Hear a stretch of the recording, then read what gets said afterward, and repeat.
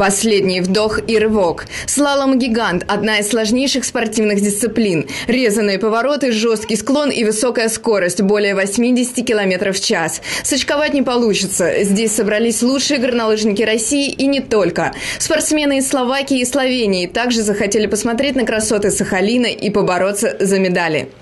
Это, наверное, одни из самых крупнейших соревнований, ну, по статусу, да. У нас в стране сегодня разыгрываются медали чемпионата, ну и в ближайшее время в специальном слаломе, слаломе гиганте. Здесь созданы все условия. Есть все возможности для того, чтобы поставить трассу, чтобы спортсменам было сложнее ее преодолевать, и они могли демонстрировать техническое мастерство. Соберись и сделай, давай!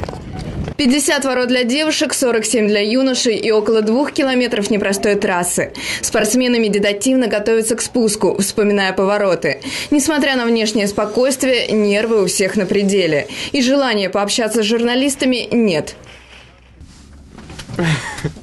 Да не хочу. Да ты не скажи, тебе трудно.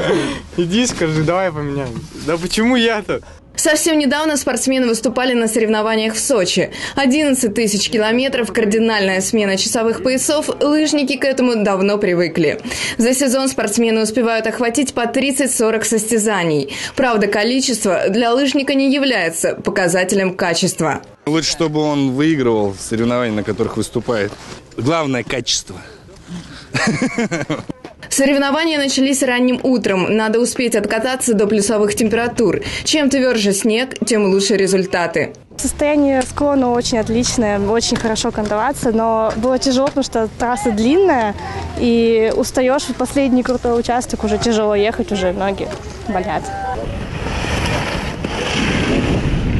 Имена участников соревнований на слуху, слабых на чемпионате нет. Но тренеры между собой ставят на Марию Бедареву, лыжницу с Камчатки. Однако спортсменке достается серебро, девушка расстроена.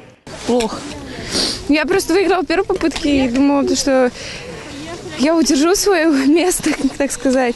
Но во второй попытке немножко проиграла и по сумме Единственное, на первой попытке было очень здорово, потому что снег был жесткий. На второй попытке вышло солнце, отпустило снег, он стал мягче. Трасса, естественно, разбивалась немножко побольше. На 4 сотых секунды Бедарева обогнала москвичка Екатерина Ткаченко. У сахалинки Владиславы Буреевой – бронза. У мужчин золотая медаль досталась Александру Андриенко из города Мыски.